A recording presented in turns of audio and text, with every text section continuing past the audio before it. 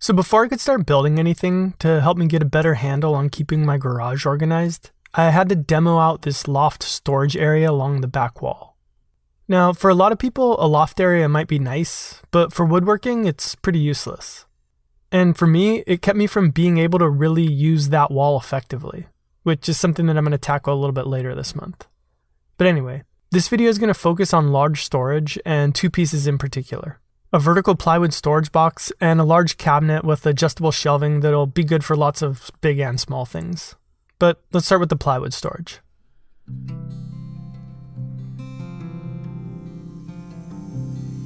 So I started by breaking down my sheets using my track saw. The smaller pieces, like the top and the bottom, and shelves are going to get refined later on at the table saw, but the two side pieces are just going to be full sheets.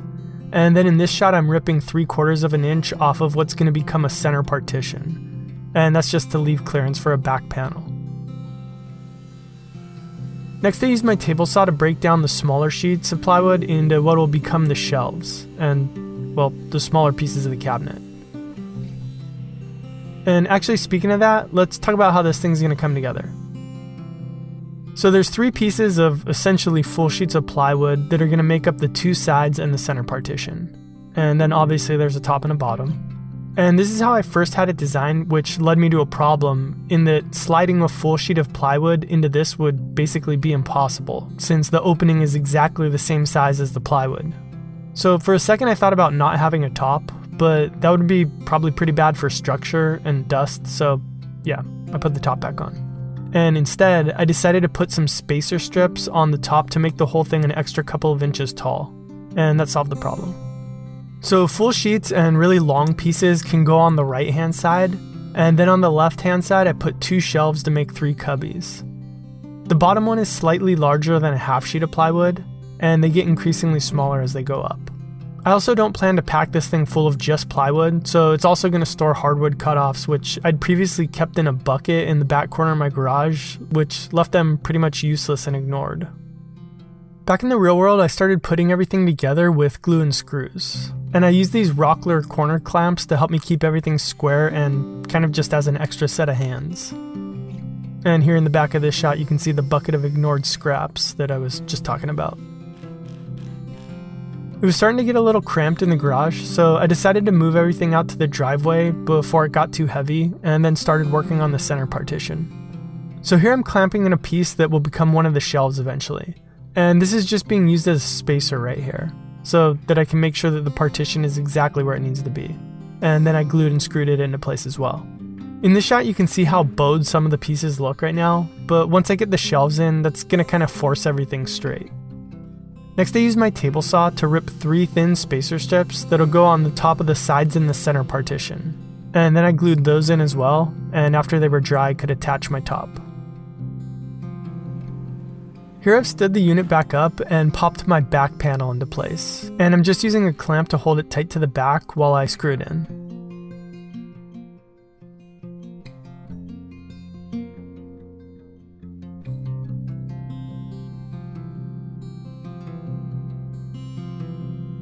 The next morning, I took the cabinet back into the garage and enlisted a buddy to help me lift it and slide it into place.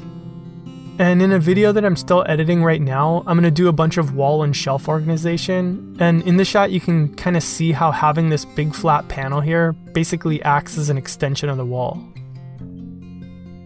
Next, I turned my attention to this big bay window area in my garage. And my basic idea here was to build something as big as I could get it so that I could maximize my storage. The problem was that I couldn't build hinged doors or drawers because of the garage door tracks, some lights up on top, and this tool chest below which would stop them from opening. So I decided to go with sliding doors instead.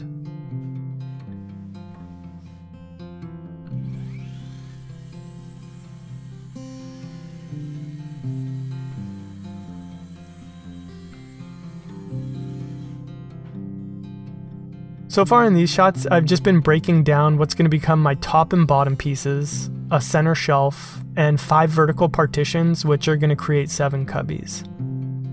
Next I use this jig to make a bunch of shelf pinholes to hold the adjustable shelving. Basically I only have a rough idea of what I'm actually going to store in here, and I'm sure it's going to continue to change as things move on, so I just wanted to make it as versatile as possible. And the only real trick here is that the vertical partitions are narrower than the side pieces. So on the side piece, I had to inset the jig a little bit so that everything would just line up right in the end. Then the last thing to do before I could start assembling was to cut my grooves for the doors to slide into. And I've done this a number of times on my channel. And again, the trick here is just cutting the top grooves deeper than the bottom grooves so that you can take the doors in and out by lifting them up to clear the front of the bottom piece.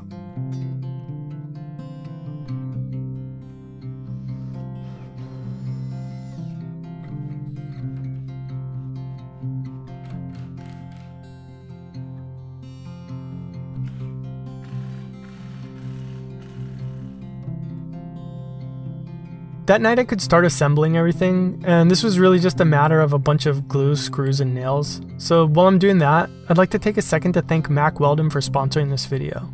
So right now you can go to mackweldon.com and get 20% off your order when you use the promo code 4eyes. And then you too can look like this. Okay, admittedly, this probably isn't the look that most people are going for, but truthfully, I like being comfortable while I'm working, and the underwear, shirts, pants, shorts, socks, and, well, everything that I've tried from Mack Weldon is super comfortable.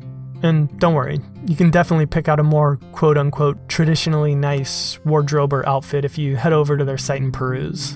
But you gotta admit, construction sites would seem a lot more friendly if you saw more of this boot and sock combo, right? Anyhow, so check them out for yourself by visiting mackweldon.com and get 20% off your order with the promo code 4eyes.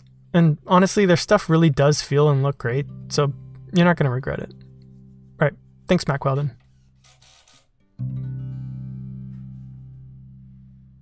By the following morning, I'd assembled everything except for the top and the vertical partitions on the top. And the reason for that is I wanted to use the side pieces as a guide to tell me where to drill the shelf pins in the top partitions.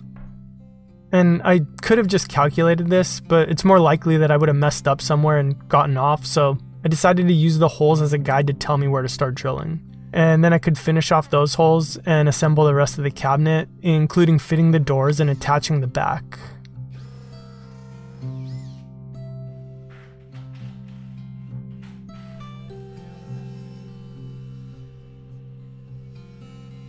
And we'll set those doors aside for a second and install this thing. And actually, you know what? Special shout out to all my neighbors for always being so willing to give me a hand with lifting heavy stuff into place. Because there's no way that I could have lifted this thing by myself. And in fact, it turns out that the two of us couldn't even put it into place. But that was because there was just too much obstruction above, and with the angle that we needed to kind of hook it in, it just wasn't happening. So poor planning on my part, I guess. But anyhow, we did an emergency removal of the rustic wood countertops that somebody had put in there in, I don't know, probably 1976, and then it was able to fit. And then the next day I just came back and put some reinforcements in since there was a little bit more overhang than I had counted on. The next night after work, I cut out all of my shelves, and then the following day I started throwing some stuff in the cabinet. So this isn't going to be the final organization in this video, and in fact I don't even know what that's going to be right now, and I'm sure it's going to change all the time, but for now I really just wanted to get things back in the garage and off of the floor. For the doors I wanted to paint them some really bright pops of color with black borders, so I started by spray painting around the perimeter, and then after that was dry I used a Forstner bit to make some handles for my fingers. And then after that I could tape off the edges and get to painting. So, like I said, I'm not exactly sure how I'm going to actually organize this thing yet, but the good news is now I have a lot more space to play with. And between these two projects, I think I'm going to be able to get a lot of stuff off the ground and various worktops and into a more permanent spot. And I guess when you think about it, humans and stuff in a workshop aren't so different after all. Whether it's in a garage or in the world, we're all just kind of looking for a place. And a lot of us are tools. Special thanks to Spencer Van Bever, Christopher Rayleigh, and the rest of my Patreon members for making these videos possible. You all definitely aren't tools. But if you were, you'd be industrial grade, German engineered, top quality primo stuff. But anyhow, If you want to find out more about how you can support the show too, check out the Patreon link in the description and see if it's right for you. And as always, no pressure. All right, thanks for watching and see you next time.